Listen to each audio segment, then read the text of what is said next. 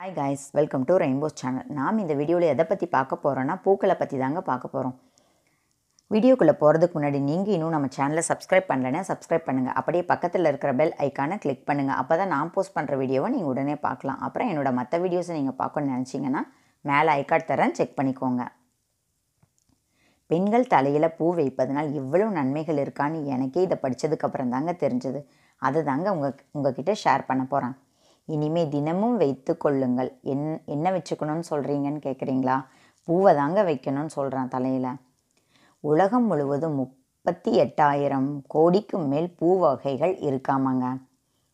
ஆனால் ஆயிரம் கோடி பூக்கள் மட்டுமே தற்போதைய நடைமுறையில் இருக்குங்களாமாங்க.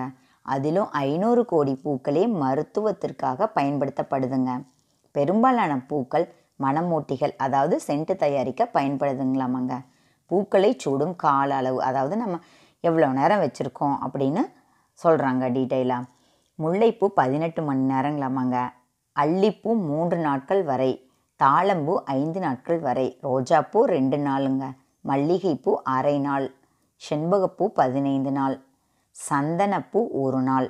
மகிழம்பூ மற்றும் குறுக்கத்திப்பூ சாப்பிடும் போது மட்டும் சூடிக்கொள்ளலாம்னு சொல்கிறாங்க மந்தாரைப்பூ பாதிரிப்பூ மாசிப்பூ இந்த பூக்களின் வாசம் இருக்கும் வரை மட்டும் சூடிக்கொள்ளலாம் அப்படின்னு சொல்கிறாங்க அப்புறம் பூக்களோட பயன்களை பற்றி பார்க்கலாங்க. ரோஜாப்பூ தலை சுற்றல் கண்ணோய் போன்றவற்றை குணப்படுத்துமாமாங்க. அப்புறம் மல்லிகைப்பூ மன அமைதிக்கு உதவும் கண்ணுக்கு குளிர்ச்சி தருங்களாமாங்க.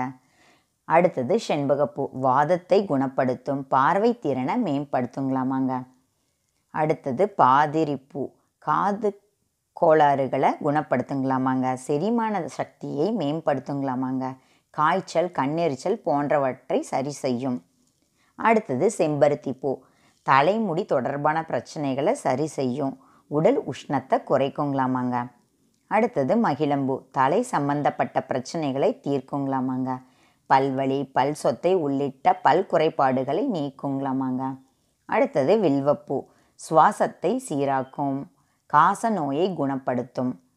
அடுத்தது சித்தகத்திப்பூ நிறைய சினிமாவில் வர்ற பாட்டில் இந்த பூவோட பேரை நான் கேள்விப்பட்டிருக்கேன். உங்களுக்கு தெரியுமான்னு எனக்கு தெரியலங்க. இந்த சித்தகத்திப்பூ தழைவலியை குறைக்குங்களாமாங்க. மூளை சுறுசுறுப்பாக இயங்க உதவுங்க. அடுத்தது தாளம்பூ. நறுமணம் வீசுவதோடு சீரான தூக்கத்துக்கும் உதவுங்க. உடல் சோர்வை நீக்குங்க. அடுத்தது தாமரைப்பூ. தலை எரிச்சல் தலை சுற்றல் போன்றவற்றை சரி செய்யுங்க. மன உளைச்சலை நீக்கி மன அமைதிக்கு வழிவகுக்குங்க. தூக்கமின்மையை நீக்கி சீரான தூக்கத்தை ஊக்குவிக்குங்க. அடுத்தது கனகாம்பரம் பூ. தலைவலி மற்றும் தலைபாரத்தை சரி செய்யுங்க. கனகாம்பர பூவில் நிஜமாகவே இந்த ஒரு அதிஸ் அதிசயமான தன்மை இருக்கிறது நான் இன்றைக்கி தாங்க கேள்விப்படுறேன். அடுத்தது தாளம்பூ மகிழம்பூ சந்தனப்பூ ரோஜாப்பூ செண்பகப்பூ போன்றவை வாதம் கபத்தை குறைக்கக்கூடியவைங்க. பூக்களை சூடும் முறை அப்படின்னா அதை நம்ம எப்படி வச்சுக்கிறது அப்படிங்கிறத பற்றி பார்க்கலாங்க. பூக்களை காதின் மேல் மற்றும் கீழ் நுனியின் இடைவெளியில் சூடணுங்களாமாங்க. அதாவது வச்சுக்கணுங்களாமாங்க. உச்சந்தலையிலோ கழுத்து பகுதியிலோ பூக்கள் தொங்கும்படி வை வைத்து கொள்ளக்கூடாதாமாங்க. மனமுள்ள பூக்களை வாசனை இல்லாத பூக்களுடன் சேர்த்து வச்சுக்க கூடாதாமாங்க.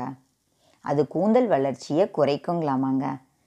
ஜாதி மல்லிகை பூ செவ்வந்தி பூ குடசலப்பாளைப்பூ பாதிரிப்பூ மகிழம்பூ செண்பகப்பூ சந்தனப்பூ ரோஜாப்பூ போன்றவற்றை கனகாம்பரத்துடன் சேர்த்து சூடினால் ரொம்ப நல்லது. அதாவது அது கூட சேர்த்து வச்சுட்டா நம்ம உடம்புக்கு நல்லதுன்னு சொல்கிறாங்க மந்தாரை தாமரை செவ்வரளி கருங்குவளைப்பூ போன்றவற்றுடன் கற்பூரத்துடன் சேர்த்து வச்சிட்டோம்னா மன அமைதி பெற உதவுங்களாமாங்க.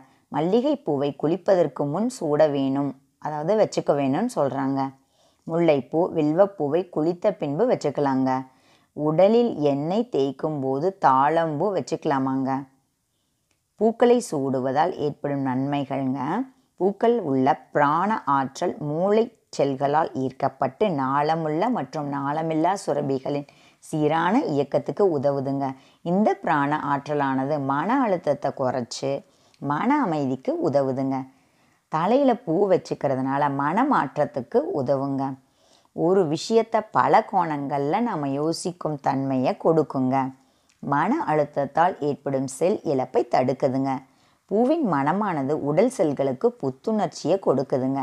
மனமாற்றத்திற்கு உதவுதுங்க. மன அழுத்தத்தை குறைக்க உதவுவதோடு மட்டும் இல்லாமல் மகிழ்ச்சியை அதிகப்படுத்துதுங்க. என்னங்க?